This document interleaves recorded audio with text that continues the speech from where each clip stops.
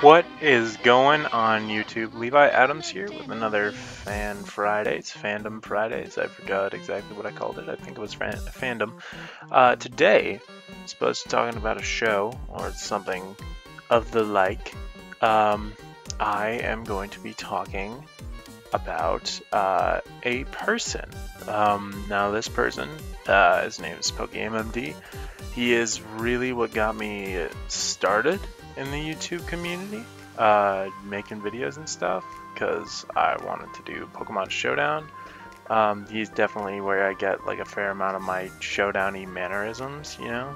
Um, so uh, he's like where I learned a majority of my competitive battling skills, like predictions and all that other stuff.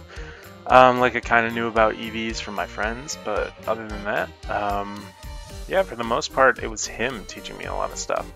Um, now, I would tell you, like, this is a little bit different from talking about series like the original Fan Fridays.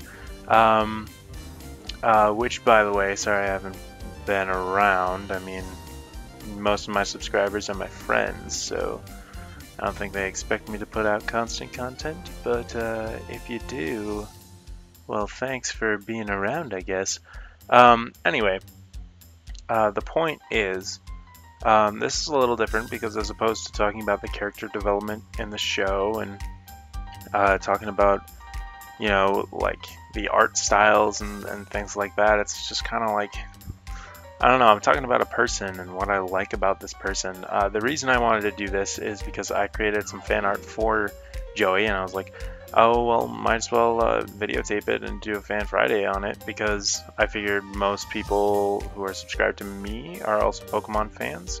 Um, actually i know they are because like i said it's mostly my friends.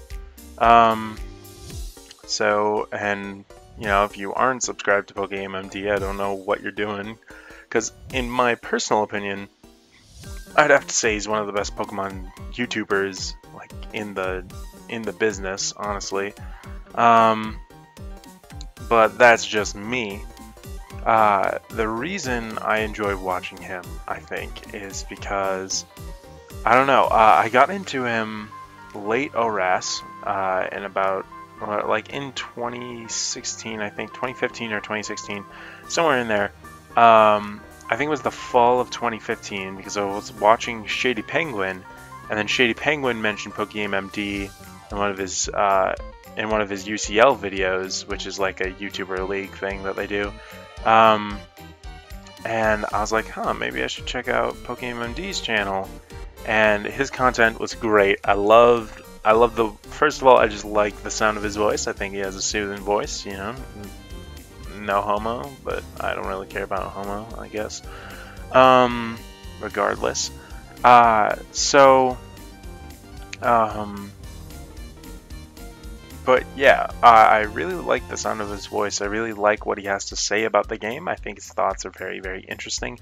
I think the way he plays is like he plays incredibly smart, and sometimes he gets salty about hacks. I mean, like he, you know, everybody gets salty about hacks, but um, I think he's just like an incredibly level-headed player, and it's really fun to watch, and it's fun to like see how he plays the game. And I think if you if you want to watch somebody who is not too over the top, but he's not too boring, I think Pokeaim's your guy. Uh, he has really cool series. He puts out daily videos, which is really really cool. He has um, like his Road to Top Tens and the Smogon, and actually inspired me to do a Road to Ladder um, on my channel, which you can check out I might put a link in the description below, but probably not. Um, and it was just like it's just a really cool concept, just like trying out different teams on the ladder, building your own teams. Uh, usually, almost always credits uh, somebody for passing him a team, but I think that's definitely one thing I love about Pokeaim is that he is a really, really nice guy too. Uh, I've been subbed to him uh, technically for like a year on Twitch. Um, but I switched Twitch accounts um, to match my Pokemon Showdown username, so I'm I don't have the same uh, the same Twitch name or like I have I haven't been subbed on the same account for for that long. So uh, it's I'm just hit like three months, I think, on my current Twitch account. Um, but I was subbed to him for nine months before that, and um, so basically, uh, when I subbed to him, I subbed and then I was like, hey, can I have a battle? And we battled and I got wrecked, but it was super awesome. Um, we've had like a lot of battles since then, and you know, he, it's not like I'm special by any means just because I battled him. Um, I posted some of the battles on my channels, like some of the ones that were really, really good. Like our PU, we had a PU battle, um, and I thought that battle was really amazing. It came down to he had two Pokemon and I had a Frogadier, and um, you know, it was just a good battle, and I was gonna make a comic out of that. Um, but I decided I wanted to take more artistic liberties with the comic, so uh, make it more of an anime style comic instead of like a Pokemon Showdown style comic. Because um, I thought doing a Showdown style comic would be fun, but it's just like a lot of switching. Um, but um, anyway, uh, point I'm getting at is he's a super nice guy. Um, he was really welcoming when I subbed to him, and even before I subbed to him. Um, and one of the, like the proudest moments of my artist career so far um, was the moment that he actually used a piece of fan art I made because I was making that comic, um, and I sent him a picture of like of something I drew of him because I asked him what his favorite Pokemon were, and I sent him the picture I drew of him, and he, was, and he used it. he shouted me out, and normally he just has the picture in the background, but he actually like pulled up the full picture that I sent him, which I thought was super cool and I thought it was amazing of him to do. Um, and he like he gave me a shout out, and there were some people in the comment section who were like, "Oh, well, you're just you're weird," um, or like they thought my art style was weird. But I mean, I don't really care about those people. Uh, but the fact that he like shouted me out and it just made me feel awesome about it. Like he'll always talk to me in streams whenever I say hey and um, we almost always get a battle unless there were like a bunch of people ahead of me, and in which case it's just like it's nice to hang out and chill with him. He like he produces a lot of content other than Pokemon. Well, not like a lot of content other than Pokemon. I think his Let's Plays are really fun to watch. Um, his Nuzlockes, I got into. I think another reason I started watching him is because I was watching his Emerald Nuzlocke, where like his Pokemon were randomized um, and the moves that they learned were randomized, and it was so like Key the Blastoise, man. Never forget, never forget Key the Blastoise. Um, but yeah, and then like I went back and watched his Emerald Nuzlocke, or not his Emerald Nuzlocke, his Gold Nuzlocke. Um, and he's just like he's really funny. He has really funny commentary. He's awful at puzzles. Excuse me pulling up my email that like just happens sometimes. I'm actually going to be testing out a new thing while I'm drawing. Um, Oh, quick other thing, I'm not doing Showdown Saturdays. Uh, I mean, I might, but I want to dedicate a lot more time to drawing, and I think it's like, it's a little hard for me to dedicate a lot of time to Showdown uh, Showdown Saturdays. I might bring them back because I'm getting ready to go to, to the National Pokemon Tournament, but, you know, that's whatever. That's a different thing. Um, so anyway, uh, I honestly just think he's a really great guy. He's really, really cool.